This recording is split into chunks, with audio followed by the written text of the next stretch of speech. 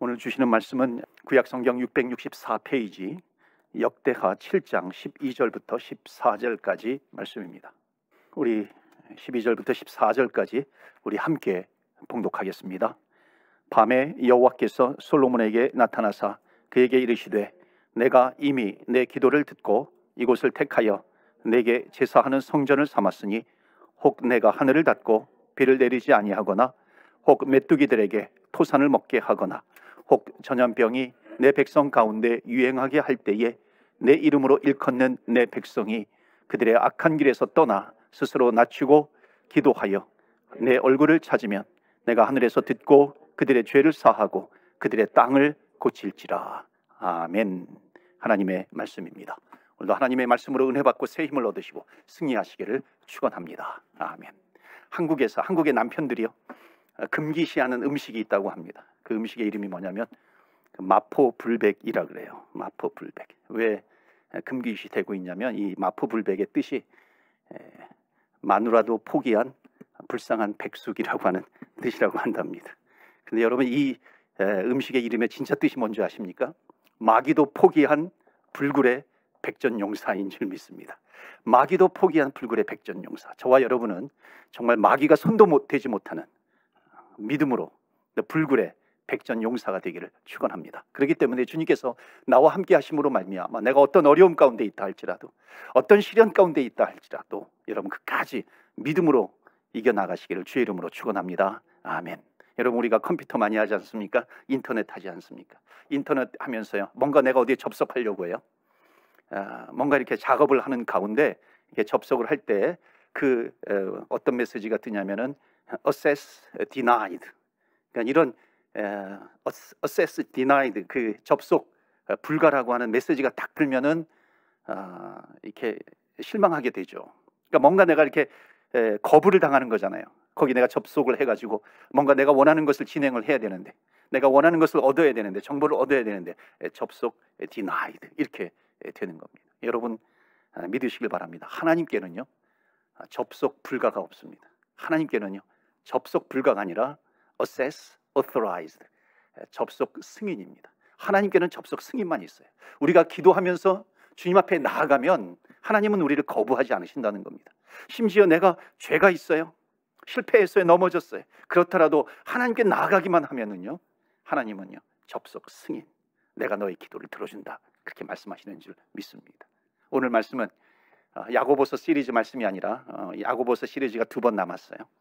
6월 달에 다 마치도록 하려고 하는데요. 오늘은 아, 잠시 역대하 7장 말씀을 가지고 은혜를 나누고자 합니다. 제가 새벽 기도회를 지금 역대하 말씀을 진행하고 있습니다. 이 역대하 7장을 제가 준비하면서 좀 하나님께서 주신 마음이 있었어요. 그래서 그것을 같이 나누고자 합니다. 이 아, 지금 역대하 7장의 말씀은 누가 등장하고 있냐면 솔로몬이라고 하는 왕이 등장합니다. 솔로몬은 누구예요? 이스라엘이 왕정 시대가 시작이 되었을 때 첫째 왕이 사울, 그 다음에 다윗, 그 다음에 솔로몬입니다. 솔로몬이 하나님의 성전을 지어요, 완성해요. 하나님의 성전을 짓고 하나님의 성전 안에 지성소에 그 하나님의 임재를 상징하는 그 언약궤, 법궤라고 하죠. 그 하나님의 궤라고도 하죠. 그 언약궤를 그 지성소에 들여놓습니다. 그리고 백성들을 축복하고요. 이게 역대하 6장에 나오고 그 다음에 하나님을 향해서 기도합니다. 이게 역대하 6장 그리고 오늘 7장까지 아, 역대하 7장까지 이어지죠. 그러니까 백성들을 축복하고 하나님 앞에 기도할 때에 그때 assess authorized 접속 승인 하나님께서 승인해 주시는 거예요. 내가 너의 기도를 들었다라고 하는 말씀입니다. 그것이 바로 이 12절 말씀이에요. 하나님께서 여호와께서 솔로몬에게 나타나시는 겁니다. 접속 승인이에요. 내가 너의 기도를 들었다 말씀하고 계시는 겁니다. 그러면서 이제 13절 말씀 계속해서 이어집니다. 자, 13절 말씀 보실까요? 13절 말씀 보시면은 혹 내가 하늘을 닫고 비를 내리지 아니하거나 혹 메뚜기들에게 토산을 먹게 하거나 혹 전염병이 내 백성 가운데 유행하게 할 때에 자, 이게 무슨 말씀이냐면요. 솔로몬이 기도한 이후에 하나님께서 그 말씀을 들으신 거죠. 그리고 하나님께서 임재하셔요. 그리고 말씀하시는 겁니다. 그 말씀이 바로 이 13절에 나와 있는 말씀. 그런데 뭐라고 말씀하십니까? 거기에 혹 내가 하늘을 닫고 그랬습니다. 그러니까 뭐예요? 하나님께서 하늘을 닫으실 때가 있다는 겁니다. 하나님께서 하늘을 닫아요. 거기 말씀 보시면은 뭐 메뚜기라든지 전염병을 유행하게 할 때가 있다 있으시다는 겁니다. 그러니까 재앙을 내리실 때가 있다는 거예요.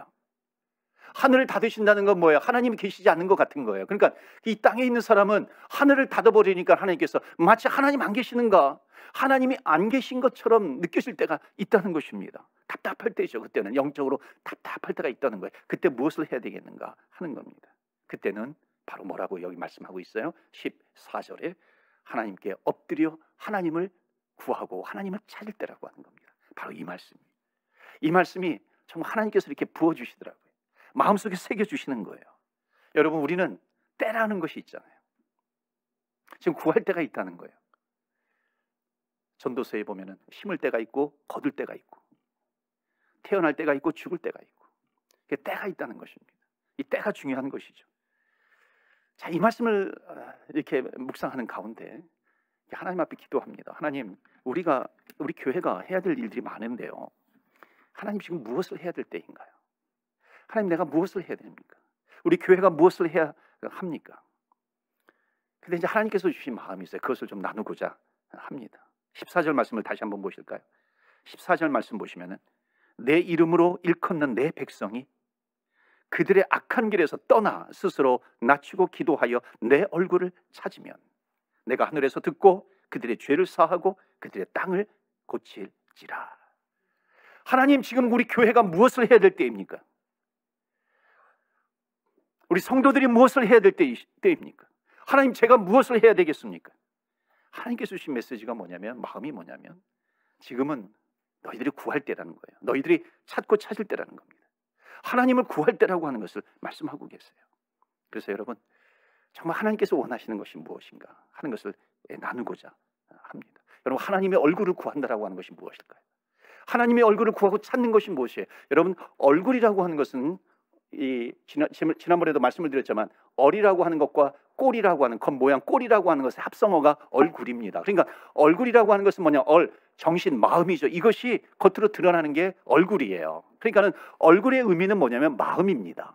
그러니까 사람의 마음이 얼굴로 나타난다 그러잖아요. 그러니까 지금 하나님의 얼굴을 찾으라 이것은 뭐냐면 하나님의 마음을 찾으라는 거예요. 하나님의 마음을 구하라고 하는 것입니다. 그래서 지금 하나님의 마음을 찾으라. 이것은 뭐냐면 너희들이 정말 하나님을 구하고 찾는다라고 하는 의미는 뭐냐면 순수한 마음으로 하나님을 구하라는 거예요.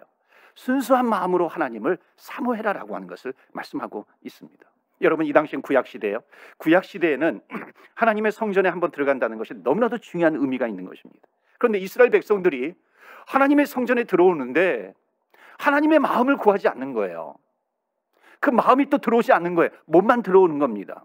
그런 사람들이 있었다는 거예요. 그래서 하나님이 지금 하나님의 얼굴을 찾으라라고 하는 것은 뭐냐면은 너희들이 성전에 올 때마다 나를 찾아. 그래서 순수한 마음, 순수한 신앙으로 순수, 신앙의 순수성을 사모해라라고 하는 것을 말씀합니다. 여러분 우리는 하나님의 도움의 손길을 계속해서 찾아요. 근데 정말 하나님께 나올 때 순수한 마음을 가지고 나오는가? 그렇지 않을 때가 많이 있다는 것입니다. 여러분 우리는 뭔가 해야 돼요. 뭔가 하죠. 부지런히 합니다. 여러분 교회라고 하는 공동체도 하나님의 일을 해요. 하나님의 비전을 행합니다. 뭔가 여러 가지 일들을 하고 있어요. 지금도 우리가 뭐 광고하면은 많은 일들을 하지 않습니까? 특히 여름에 우리가 단기 선교를 합니다. BBS를 해요. 기타 많은 것들을 하죠. 또 우리 하나님께서 또 예배 처소를 허락해 주셨어요. 또 예배 처소로 이전을 해야 돼요. 성전을 또 이전하는 일들도 해야 되는 것입니다. 여러분 지금은 COVID예요. 이제 COVID가 점점 이제 안정화되고요. post COVID를 우리는 아, 준비해야 됩니다. COVID 이후에 우리가 어떻게 함께 모여서 예배를 드릴 때에 정말 하나님의 임재가 있는 예배를 준비할 것인가? post COVID, COVID 이후에 우리 교회가 어떻게 될 것인가? 우리는 여러 가지를 준비하고 또 진행할 수 있어야 됩니다. 한 달 전부터 우리 교역자들이요, 특히 모여가지고 아, 이제 한 달 동안 우리 post COVID를 좀 준비하자. 각 부서와 위원회 행사들이 있는데 이제 post COVID 이후에 우리가 어떻게 진행할 것인가? 그래서 담당 교역자들에게 이제 한 날을 정해가지고 이제 브리핑하기로 했습니다. 우리가 그것을 어떻게 해 나가야 될 것인가 하는 거죠. 또 이것은 교회뿐만 아니라 개인적으로도 그렇지 않습니까? 개인적으로 나름대로 해야 될 일들이 있어요. 뭐 취업을 준비하기도 하고 비즈니스를 행하기도 하고요. 또 학업을 하기도 하고요. 여러 가지 할 일들이 있습니다. 뭐 해야 되죠. 이민도 준비해야 하는 것이죠. 그런데 오늘 주신 메시지는 뭐냐면 우리가 많은 일들을 합니다. 주의 일들을 합니다. 나에게 맡겨주신 일들을 합니다. 그런데 그것을 진행하는 것보다도 훨씬 더 중요한 것이 있다는 거예요. 먼저 해야 될 것이 있다는 것입니다. 그것은 뭐냐면 하나님을 순수하게 구하라는 거예요. 하나님을 순수하게 찾고 찾으라. 하나님의 얼굴을 구하라라고 하는 것입니다. 정말 하나님께서 원하시는 것은 뭐냐면 너희들이 무슨 일을 하기 전에 먼저 순수한 마음으로 나에게 오라. 순수한 신앙을 구하라. 하나님의 얼굴을 구하라. 하나님의 얼굴을 찾으라라고 하는 것입니다. 너희들의 공동체가 뭐 100명이 모였든 1000명이 모였든 아니 수만 명이 모였든 그 상관없어. 하나님께서 우리에게 원하시는 것은 뭐냐면 순수한 마음을 가지고 나, 나를 찾고 찾으, 찾으라라고 하는 것을 말씀하고 있습니다. 여러분 좀 더 말씀을 드리면요. 성경에 많은 예화가 있지만요. 우리가 좀 우리가 좀잘 아는 예화가 있어요. 이스라엘 백성들이 이스라엘 백성들이 출애굽 그러니까 애굽 이집트에서 노예로 살고 있습니다. 그런데 하나님께서 모세를 통해서 이, 이 이집트의 노예로 있는 이스라엘 백성들을 출애굽 엑소더스 구출해 내잖아요. 그리고 너 내가 지시한 가나안 땅으로 데리고 가라 그럽니다. 여러분 이집트라고 하는 나라는 성경에서 무엇을 상징하냐면 하나님을 믿지 않는 나라를 상징해요. 자, 하나님을 믿지 않는 나라에서 이스라엘 백성들이 탈출을 했어요. 구출되었어요. 구원받았어요. 그리고 가나안 땅으로 갑니다. 자, 이것은 무엇을 얘기하냐면 하나님께서 지시한 땅으로 가는 거죠. 너희들이 이제 엑소더스에서 하나님을 믿는 사람들이 됐어. 이제 하나님을 믿는 신앙을 신앙을 너희들이 가졌어. 그럼 이제 너희들이 어떤 신앙을 가져야 되겠는가? 하나님께서 주시는 메시지가 있다는 것입니다.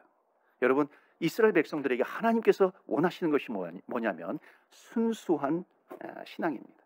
신앙의 순수성이에요.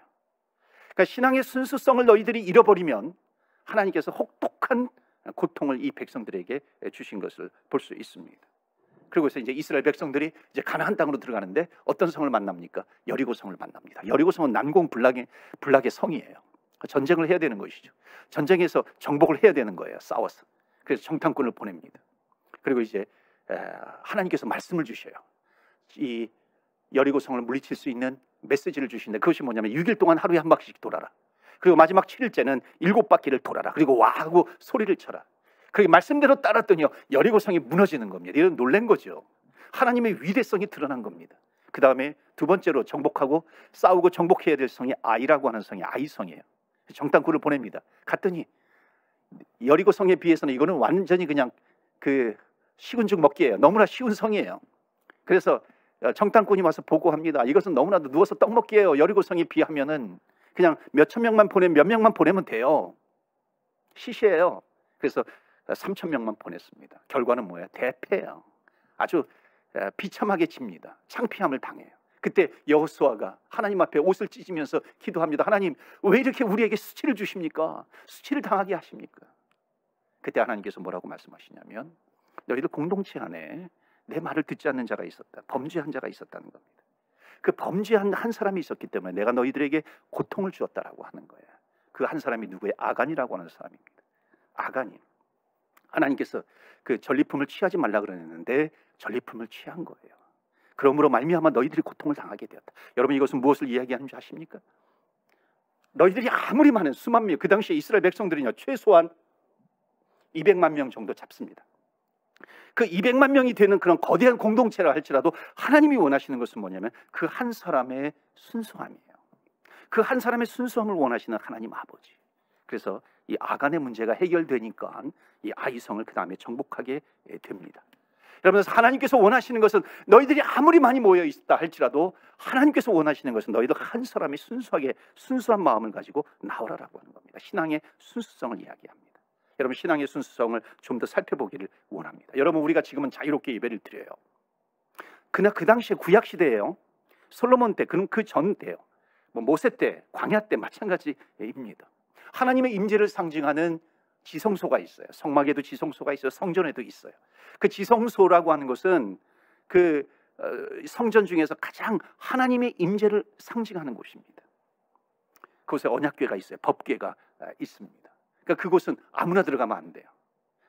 그리고 죄 있는 모습으로 들어가면 안 됩니다. 1년에 한 번 그래서 대제사장 high priest 이 대제사장이 1년에 한 번 대속제일 유대력으로 7월 10일 대속제일 날 그곳에 들어가게 됩니다. 정말 정결한 마음으로 회개하는 마음으로 그 지성소에 들어가요. 하루 들어가지만 어, 최소한 세 번, 네 번 이렇게 왔다 가 들어왔다 나갔다 합니다. 그러니까 대제사장은 성소에 어, 네번 정도 들어가게 됩니다. 그러니까 그 하루에 들어가게 되는 것이죠. 거기 가서 불을 피우게 하고요. 이 그 분양하는 그 불을 그, 가지고 들어갑니다. 그리고 거기 연기가 나오죠. 하나님의 임재를 준비하는 것입니다. 그 다음에 또 나와요. 그래서 또 에, 백성들의 죄를 또 사하기 사함받기 위해서 그 제물의 피를 가지고 피 사발을 가지고 들어가게 됩니다. 그리고 또 나와요. 그리고 또 들어갑니다. 그리고 마지막에 정리하고 들어가게 되는 것이죠. 자, 여러분 들어갈 때마다 이 대제사장은 정말 두렵고 떨리는 마음으로 들어가는 겁니다. 왜냐하면 내가 죄가 있으면 그 자리에서 직사하기 때문에 그런 거예요. 그러니까 하나님의 임재가 있는 그곳은요 아무나 들어갈 수 없는 거예요. 죄인은 들어가서는 안 됩니다. 죄인이 들어가게 되면 그 자리에서 죽는 거예요. 근데 사랑하는 성도 여러분, 지금은 신약입니다. 신약 시대 이후에 예수 그리스도께서 우리를 위해서 십자가에 죽으셨어요. 우리의 죄를 지시고 십자가에서 피 흘려 주셨어요. 십자가에서 죽으실 때 기성소에 들어가는 그 막혀 있는 휘장이 다 갈라진 겁니다. 그래서 이제는 누구든지 예수 그리스도의 보혈의 공로로 내 공로가 아니라 예수 그리스도의 보혈의 공로로 누구든지 하나님의 임재의 현장 속으로 들어갈 수 있다는 것입니다. 누구의 공로는 내 공로가 아니에요. 주님의 공로입니다. 자, 그런데 주님 앞에 누구든지 나갈 수 있지만은 이제는 너희들이 구약 시대에는 죄를 지으면 죽었지만 이제는 주님 앞에 나올 때 마음의 지성소를 가지고 나오라는 거예요. 마음의 지성소를 가지고 나오라라고 하는 것은 뭐냐면 신앙의 순수성을 가지고 주님 앞에 나오라라고 하는 것을 말씀하고 있습니다. 신앙의 순수성을 사모해라 하는 것입니다. 지금은 뭐 누구도 뭐 우리가 예배를 좀 함부로 드렸다고 해가지고 뭐 예배를 좀 빠졌다고 해가지고 하나님께서 심판하시는가? 하나님께서 심판하지 않으십니다. 하나님께서 이 땅을 치유하셨기 때문에 그런 거예요. 그러나 정말 예수 그리스도의 보혈의 능력을 의지하면서 나가는 사람들, 정말 여기 하나님이 계신다라고 하는 것을 믿고 순수하게 하나님의 얼굴을 구하는 마음으로, 하나님의 얼굴을 찾는 마음으로 신실한, 신실한 순수한 신앙으로 주님 앞에 나오라라고 하는 것입니다. 그때 주님을 체험하게 되는 것이죠. 주님을 느끼게 되는 겁니다. 사랑하는 성도 여러분, 우리 교회가 주님 앞에 순수한 신앙을 가지고 나와서 주님을 체험하는 저와 여러분 되시길 바랍니다. 주님의 임재를 느끼는 저와 여러분 되시기를 주의 이름으로 축원합니다. 그래서요. 오늘 말씀 우리가 12절부터 읽었는데 역대하 7장 1절 말씀 보시겠어요? 7장 1절 말씀 보시면은 솔로몬이 기도를 마침에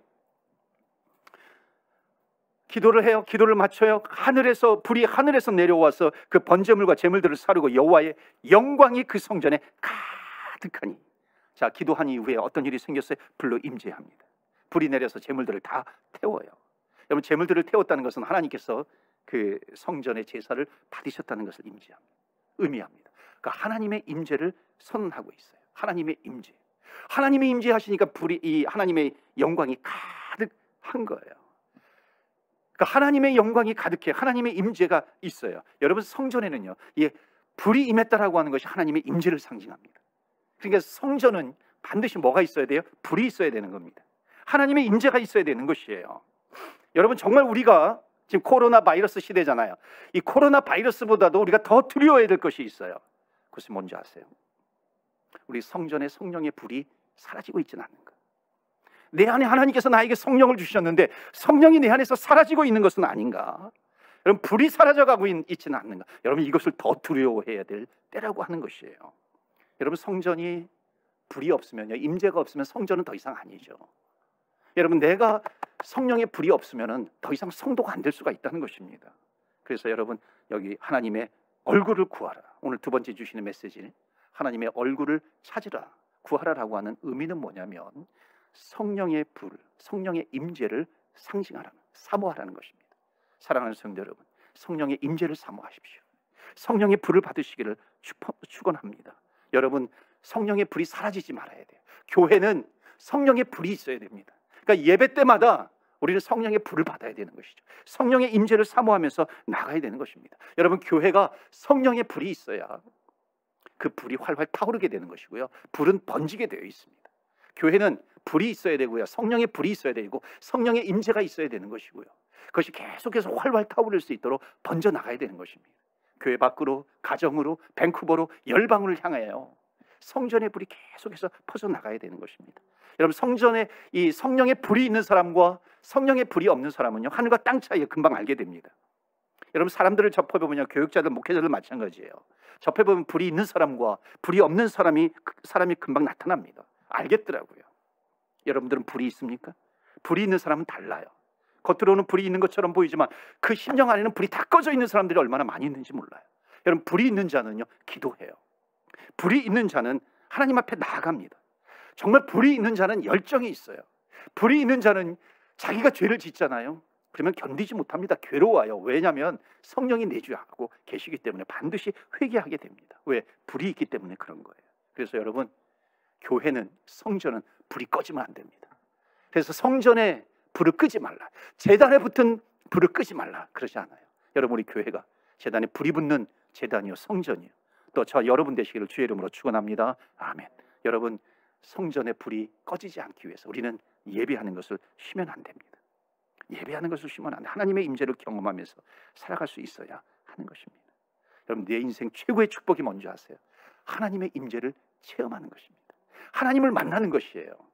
여러분 어떤 축복보다도 하나님을 만나는 축복이 가장 크다는 겁니다. 여러분 목회자의 역할이 뭔지 아세요?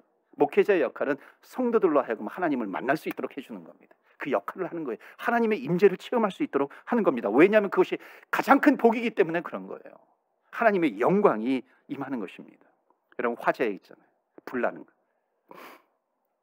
여기도 마찬가지고 한국에도 마찬가지고 심심치 않게 이렇게 어, 이게 그, 그 신문이라든지 이렇게 소식들이 전해지는 거 보면 그 화재가 나가지고 건물을 태워요, 집을 태워요. 사람이 죽어나가면 얼마나 마음이 아픕니까? 가족들이 울부짖어요, 부르짖어요. 마음이 아픈지 모릅니다. 그런데 여러분 아세요?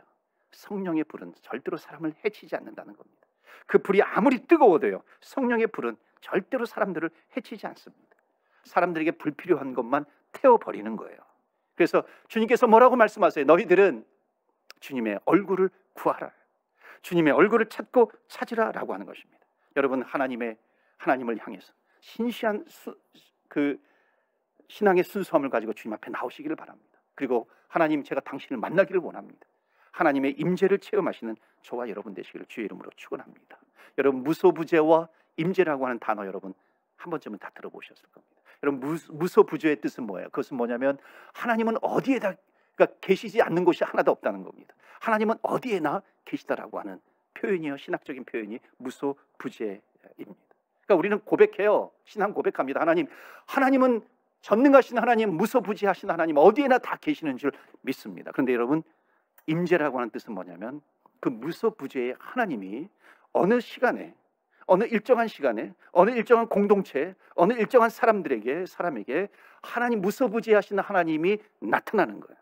나타나는 현상, 만나시는 현상, 그것을 임재라고 얘기하는 겁니다. 그러니까 사랑하는 성도 여러분, 지금 무소부지 하나님을 고백하는 교회들은 많아요. 그런데 하나님의 임재를 고백하는 교회, 체험하는 교회는 점점 줄어들고 있다는 것입니다. 그래서 우리 교회는 무소부지의 하나님을 하나님을 고백하기도 해야 되지만 믿음으로 하나님의 임재를 체험하는 교회가 되기를 주의 이름으로 축원합니다. 하나님의 임재를 체험해야 되는 것이에요. 그러니까 주님께서 말씀하시는 거예요. 하나님의 얼굴을 찾으라. 하나님의 얼굴을 구하라. 너희들이 정말 하나님의 임재를 체험하고 있느냐? 내가 원하는 것은 너희들이 하나님의 얼굴을 구하며 하나님의 임재를 체험하기를 원해. 주님께서 말씀하시는 거예요. 자, 오늘 말씀 조금 더 보시면요. 16절 말씀 보실까요? 그 이후에 나와 있는 말씀인데요.